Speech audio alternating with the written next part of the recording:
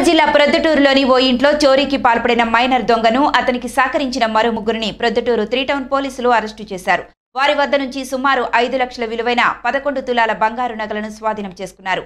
ప్రొద్దుటూరులోని YMR కాలనీలో అంగన్వాడీ ఆయా రాజేశ్వరి ఇంట్లో ఈ నెల ఇరవై ఐదున పట్టపగలే ఇంటి తాళాలు తీసి దర్జాగా బంగారాన్ని ఓ కుర్రాడు ఎత్తుకు వెళ్ళాడు బాధితుల ఫిర్యాదు మేరకు కేసు నమోదు చేసుకున్న పోలీసులు చోరీ జరిగిన మూడు రోజుల్లోనే నిందితులను పట్టుకున్నారు. జమ్మలమడుగు మండలం గూడెం చెరువుకు చెందిన పదహారేళ్ళ మోరుగు బాబు అతనికి సహకరించిన బట్టు కిషోర్ బాబు షేక్ మహమ్మద్ పిల్ల నారప్ప గారి మారుతి కుమార్లను అరెస్టు చేశారు. ఇంటి యజమాని నిర్లక్ష్యం వల్లే ఈ చోరీ జరిగిందని ప్రజలు ఇంటి నుంచి బయటకు వెళ్ళేటప్పుడు అప్రమత్తంగా ఉండాలంటూ ప్రొద్దుటూరు డీఎస్పీ వై ప్రసాద్ రావు సూచించారు. ఈ కేసును ఛేదించడంలో సహకరించిన పోలీసు సిబ్బందికి డీఎస్పీ రివార్డులను అందజేశారు.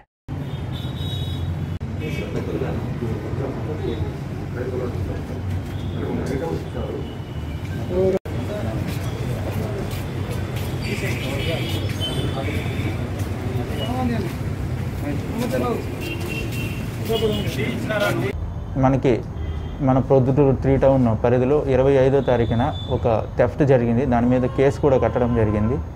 దాని మేరకు మేము ఒక రెండు టీములుగా విభజించి దేనికోసము అన్ని రకాలుగా అన్ని కోణాల్లో విచారించగా మనకి ఈరోజు థర్టీ ఫస్ట్న ముద్దాయిలను కూడా క్యాచ్ చేయడం జరిగింది. Within span of three డేస్లో మా త్రీ టౌన్ సిబ్బంది అందరూ కూడా చాలా కృషి చేసి ఆ మొత్తము ఎంతైతే రికవర్ ఎంతైతే టెఫ్ట్ జరిగిందో అంతా కూడా రికవర్ చేయడం జరిగింది. దాంట్లో ఎవరెవరైతే ఉన్నారో వాళ్ళ రిసీవర్స్ ఎవరైతే ఉన్నారో వాళ్ళందరినీ కూడా అరెస్ట్ చేయడం జరిగింది. టోటల్గా five lakhs worth of total eleven tolas recovery కూడా చేయడం జరిగింది. ఫర్దర్గా దీన్ని కోర్టులో ప్రొడ్యూస్ చేసి ఈ ముద్దాయిలైన వాళ్ళని కోర్టులో రిమాండ్కి కూడా పంపించడం జరుగుతుంది.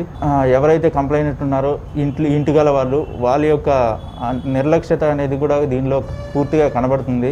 ఎవరైనా ఇంటి నుంచి బయటికి వెళ్ళేటప్పుడు కంపల్సరిగా లాక్స్ని లాక్స్ని గట్టిగా వేసుకుని తాళాలు మాత్రం ఎవరికి అందనంత దూరంలో పెట్టుకోవాలా ఎవరికి తెలియని ప్లేసుల్లో పెట్టుకోవాలా?